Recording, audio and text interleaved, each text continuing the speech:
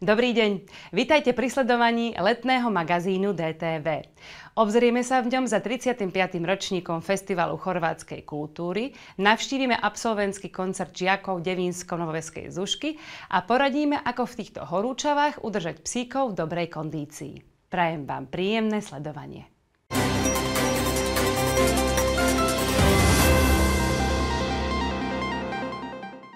35. ročník Festivalu chorvátskej kultúry priniesol aj prekvapenie pre všetkých, ktorí sa na organizovaní festivalu a udržiavaní tejto krásnej tradície zúčastňovali.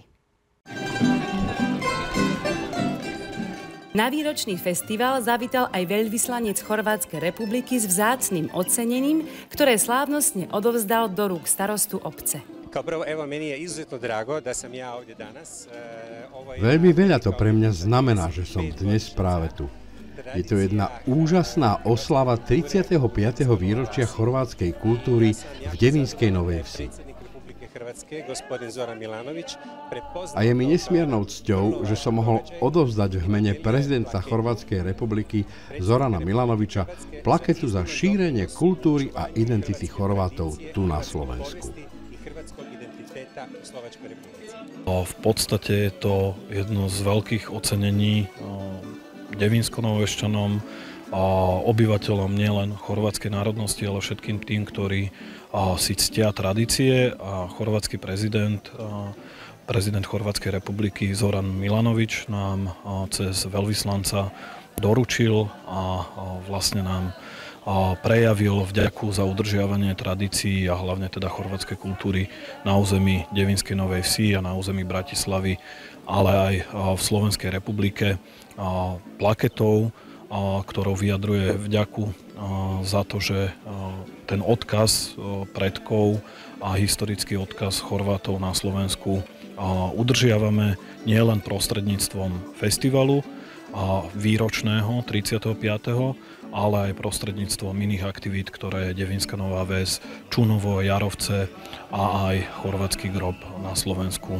cez svoje kultúrne spolky, cez svoje zväzy a folklórne združenia, folklórne súbory jednoducho prezentujú a snažia sa tú kultúru a tradície udržať či už cez najmladšie generácie až po tie a najstaršie generácie, ktoré tu máme. Berieme to ako prejav úcty nielen Chorvátom žijúcim na Slovensku, ale Chorvátom, ktorí žijú v zahraničí. Nadštandardné vzťahy s chorvátskymi obcami máme potvrdené aj zmluvami o vzájomnej spolupráci. Tie vzťahy medzi Slovakmi a Chorvátmi sa aj práve takýmito plaketami, poďakovaniami na tej najvyššej nielen diplomatickej, ale aj politickej úrovni tak zohľadňujú to, že máme tie vzťahy nadštandardné a máme ich veľmi dobré.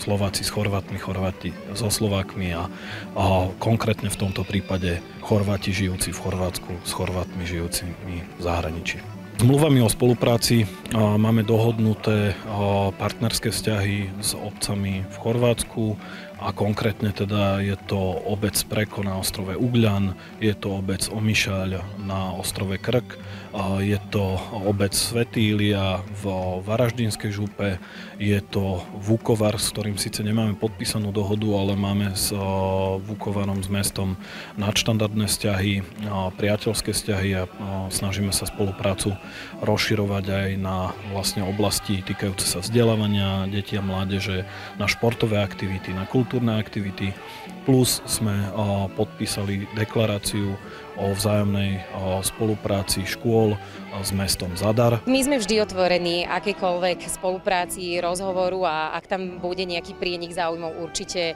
určite sa na niečom ďalej dohodneme. My máme veľký záujem na tom, aby, aby sme akoby podchytili tie mladšie ročníky, aby prišla nová krv do tých našich radov a naozaj, aby tá chorvátska menšina na Slovensku nemala len minulosť a súčasnosť, ale aby mala aj budúcnosť.